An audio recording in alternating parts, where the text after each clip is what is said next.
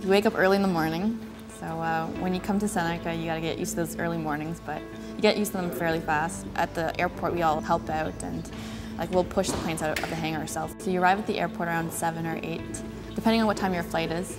We'll do our, all of our paperwork, like we have to do a weight and balance, our performance numbers for the flight. We have to check in with dispatch at the dispatch office, which is in the main hangar. And there you pick up a trip slip, which has your lesson number and your, your flight information on it and what instructor you're with. You'll meet with your instructor probably about an hour prior to your flight and uh, just to brief and go over flight details. So once you do that, you do a walk around of the aircraft to get the aircraft all ready to go and leave on time with your flight.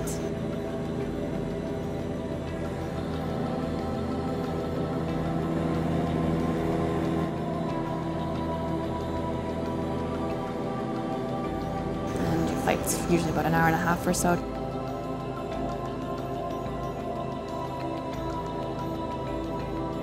You'll come back after your flight and you'll sign up with dispatch and the duty instructor might make you stay around a little bit in order to push planes and um, do the rest of the end of the day duty. We all help out and like we'll push the planes out of the hangar ourselves and push them back in so we're highly involved and that's pretty much a typical day when you're flying at Seneca College.